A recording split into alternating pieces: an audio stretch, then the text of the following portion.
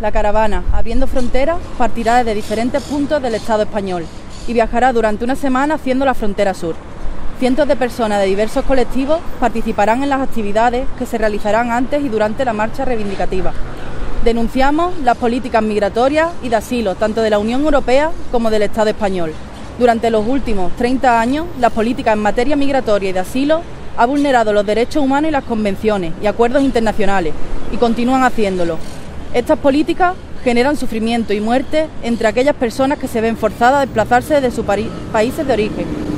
Hoy día son cotidianas situaciones inaceptables, como por ejemplo el uso de concertina en las vallas de Ceuta y Melilla, las ilegales expulsiones sumarias en caliente, las operaciones de control de Frontex, la imposibilidad de solicitar protección internacional en la embajada y consulados del Estado español, así como las trabas constantes al procedimiento de asilo dentro de este Estado. Atravesamos fronteras para denunciar cómo estas atraviesan las vidas, sueños y esperanzas de muchos de nuestros semejantes que huyen de la guerra, la persecución o la miseria. Nos movilizamos para demandar que se respeten los derechos de millones de personas que huyen de guerras que se perpetúan, del hambre, del atrato, del tráfico de personas, de las consecuencias del cambio climático o de la persecución y la violencia en sus múltiples formas. Y en Málaga queremos recibirlos en el puerto de Málaga, el puerto de nuestra ciudad, un puerto que queremos que sea de intercambio entre culturas y un puerto de bienvenida y queremos recibir la caravana. Queremos que los autobuses de esa caravana puedan estacionar en el puerto y queremos que la Plaza de la Marina ese día refleje la Málaga que somos y la Málaga que queremos. Pedimos al ayuntamiento que proporcione apoyo logístico al proyecto Caravana Abriendo Fronteras en su paso por Málaga.